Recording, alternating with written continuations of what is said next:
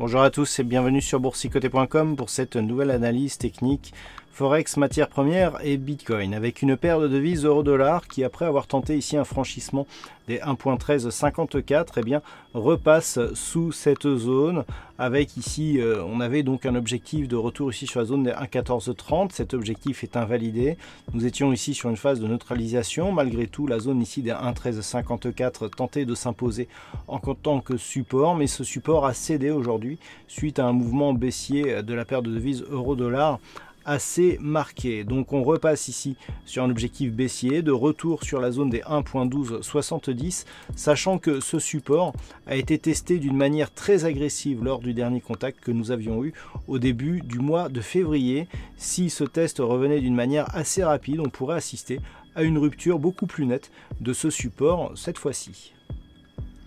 Et puis sur l'or, suite au franchissement ici de la zone des 1297 puis des 1324,50 dollars l'once, nous avions ici une dynamique qui restait haussière, mais avec la rupture prématurée ici des 1324,50 à la baisse, eh bien on a eu une invalidation du, suivi de signal euh, haussier, avec donc un enfoncement assez fort ici de la bande de Bollinger inférieure. On a eu un retour ici sur la moyenne mobile 20 exponentielle qui a permis de valider le fait que cette moyenne mobile s'imposait en tant que résistance et surtout que la zone ici des 1324.50 s'imposait elle aussi en tant que résistance après avoir support ici sur toutes ces phases, ce qui validait donc une rupture assez nette de cette zone euh, de, de, cette zone horizontale. Alors on s'attendait à un retour ici sur la zone des 1297 qui aurait pu s'imposer en tant que support, mais c'est en tant que résistance hein, que cette zone agit aujourd'hui, puisqu'après franchissement, on a eu ces deux bougies ici en unité de temps H4 qui sont venues valider ce niveau en tant que résistance avant de poursuivre ici le mouvement baissier. Donc il s'agit clairement d'un signal de retournement de tendance assez, euh, assez puissant.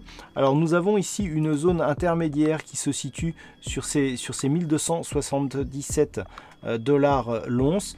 En cas de rupture ici de ce niveau, eh bien l'objectif serait un retour sur la zone majeure des 1264 dollars l'once. Donc pour l'instant, nous étions ici sur une dynamique haussière. La dynamique eh bien, est en train de se retourner d'un point de vue court, très court terme. Nous avions une dynamique qui restait haussière ici sur une vue un peu plus moyen terme, il faudra éventuellement surveiller ici la zone majeure des 1242 qui était le théâtre ici de, cette, de ce point haut significatif avant C'est la prochaine zone majeure à atteindre, la zone des 1264 étant un peu, plus, un peu moins importante, hein, ayant été moins testée par le marché. Donc attention ici à ces 1277 et à ces 1264 dollars l'once qui pourraient laisser présager en cas de rupture d'un retour ici sur la zone des 1242 et pourquoi pas tester ici ce support oblique. Sur le WTI, nous restons sur une évolution plutôt haussière, malgré ici le test de cette zone de support oblique qui définit l'actuelle dynamique haussière. Eh bien, nous avons vu que suite à ce contact, eh bien, nous avons eu un test des 55 dollars le baril, qui a été suivi ici par un retour sur ce niveau qui a agi en tant que support. Suite à cela, nous n'avons pas eu de nouveaux points hauts significatifs, mais on reste sur une évolution qui, malgré son manque ici euh, de, dynamisme, eh bien, reste dans une orientation plutôt haussière, avec comme prochaine zone de résistance un retour possible ici sur la zone des 59 dollars le baril.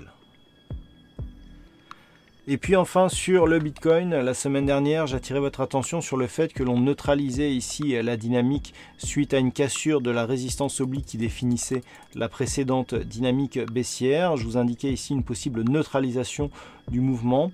Alors malgré la, dynamique baissière actuelle, on reste dans cette optique. Hein. Tant que les cours restent ici entre 3585 et cette zone ici des 4340 points, nous sommes, nous sommes dans une phase de neutralisation.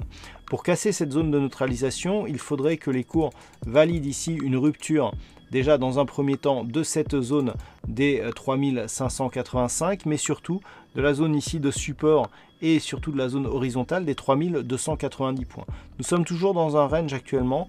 Tant que l'on est ici autour des 3585, ça reste neutre. On a invalidé ici le triangle symétrique qui donnait plutôt une probabilité de sortie baissière. Maintenant, on reste dans un mouvement de neutralisation, mais attention, on pourrait repasser dans un biais baissier en cas de rupture des 3290 dollars.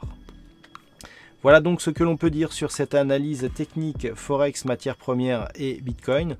Passez une bonne soirée, de bons trades. On se retrouve dès demain pour d'autres analyses techniques, toujours sur le site boursicoté.com.